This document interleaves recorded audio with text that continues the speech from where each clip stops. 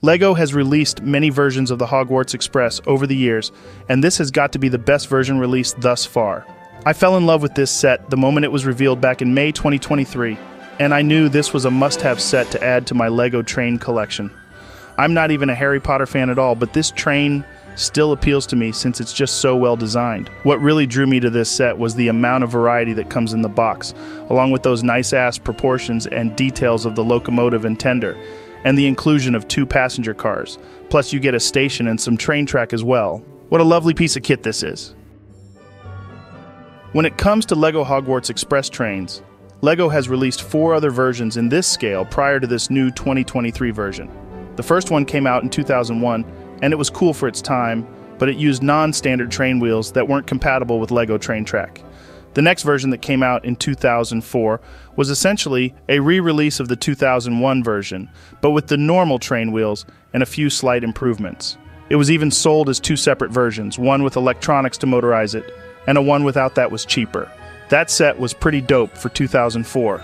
Then, a new version was made in 2010 that utilized some new curved elements that made the train look even smoother than before. Well, I guess it was just slightly smoother.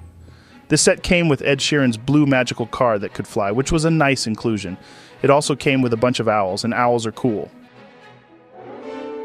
We wouldn't get another Harry Potter Express for like eight more years in 2018 when the last version was released. This train was pretty sick. It looked pretty damn good and used a whole bunch of modernized pieces. It came with a train platform slash station that was IT, but it was basically just a big empty structure with some stairs. Cool, but really not that cool though. I almost considered getting it, but I didn't like how it only came with just one passenger car.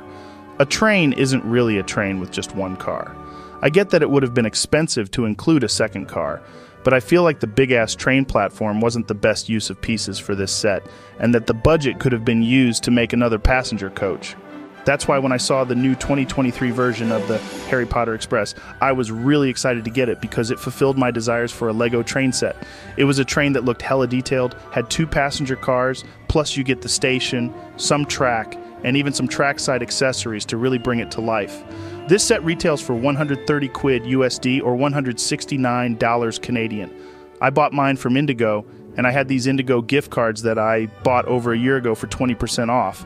I have been saving these gift cards for something good to buy, and I deem this set worthy of the gift cards. I also had a $20 off voucher in my Indigo Plum Points account, so I saved a bit of pocket money using that there voucher. I must say, this deal was somewhat lit, especially for a set that just got released. The box of the set wasn't too big, but it packs tons of stuff inside. I was impressed that the instructions and sticker sheet were carefully packed inside a cardboard sleeve to protect them. Nice touch, LEGO. I like that. The build starts with the locomotive. I absolutely love how this looks. It looks even better in person than in the pictures. The shaping, clever use of pieces, and the details are fine as hell. The stickers on this locomotive also really bring out the detail and look exquisite. It's also really cool that this set uses the tiny train wheels for the pilot wheels, which hasn't been done before in a Lego train. I also like how the side rods look. Although they aren't functional, they look pretty good and have just the right shape. The train buffer bumper things at the front look really nice as well. This set doesn't use any of the regular magnet train buffer pieces, which is good because those pieces are really quite expensive. They can cost up to $5 each, so this set could have been 40 bucks more expensive if the train included like 8 of those buffer pieces. Instead, this train is coupled with Lego Technic pieces, and that's totally fine here. They work well, look decent, and save an ass ton of money. Another thing to note is that the front buffer piece can actually be removed and then flipped upside down to switch from a fixed mode to a swivel mode.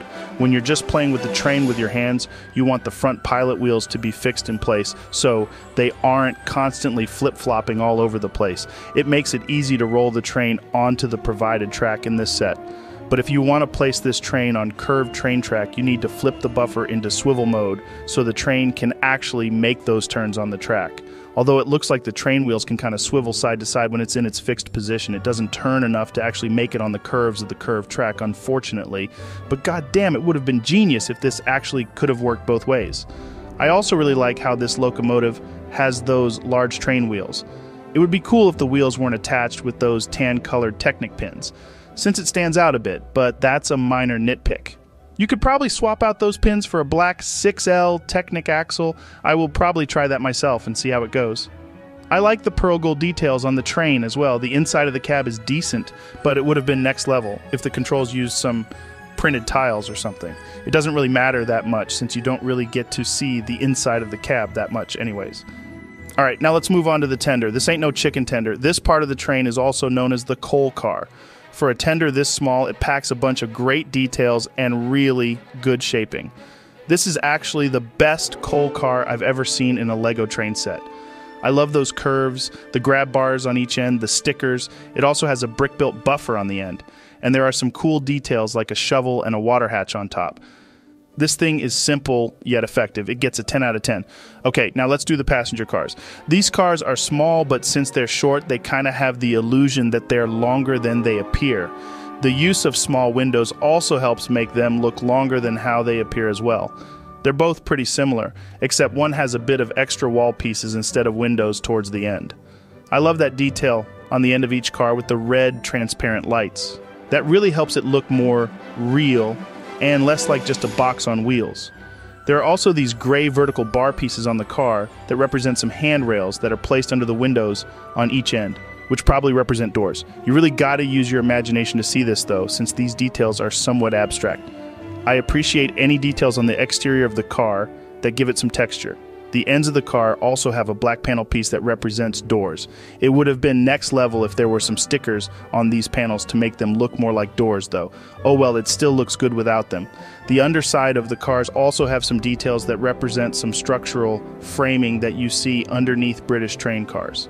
The construction for this detail is simple yet effective and really impressed me when I built this set.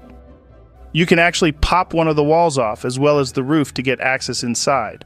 I also love how the roof was made using those trapdoor frame pieces. These pieces are really cheap, and it's an insanely clever use of these pieces that help this set stay on budget. I would totally use this technique to build a train roof for my own models.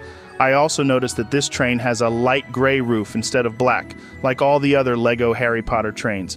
Is it accurate? I don't know, but it still looks good and makes this set stand out. I'm cool with this decision. Once you pop the roof off, you can see that there are some seats inside. It's pretty basic stuff. The second car has a space where you can hold the trolley witch. Why is she called a trolley witch? That seems kind of offensive. That's basically like calling her a trolley bitch. She doesn't sound very friendly, especially for someone who sells jelly beans and such. Lastly, let's talk about the station. At first, I wasn't sure if I was going to enjoy the station that much, since I'm not a Harry Potter fan, but I did respect the look of the station. I love the various windows that are included, the fine brick details, and the roof looks good as well. It's also nicely decorated with all kinds of plant pieces and cool accessories like the light post and that brown fence piece. The size of the platform is also quite generous too. You can fit a lot of your Lego men on this platform. There are also two red buckets hanging outside. I wonder what they're used for, though. My theory is that they contain grains to feed the horses, or perhaps they have water for putting out a fire. Maybe there's sand in there. If someone knows, please let me know down in the comments. The interior of this station really brings the wow factor, though. The main lobby area has not one but two fireplaces, a desk with a really nice printed tile for a train ticket. I love that feather with the ink pot, and a telephone as well. I love the dark orange color in here. It looks totally excellent. On the left side, there's a bathroom, also known as a loo. It's built nicely with simple yet effective pieces, but what I really love is that the water inside the toilet is a translucent blue with sparkles in it. This implies that the toilet water in the universe of Harry Potter actually has magical properties. Like, if I were to dump my bowels in this bowl with Harry Potter by my side, the toilet would like cast a spell to make my stool disappear. I love that little detail. On the right side of the station is the Owl Post Office. It's got some nice details for such a small space. I especially love the printing on this owl, it's sick. Lastly, I just want to say that I like how there are chimneys that are above each of the fireplaces. It's attention to detail like this that really make this building feel real. I also like how the front window here kind of sticks out a bit and that the building isn't just a flat symmetrical building. There's some depth here.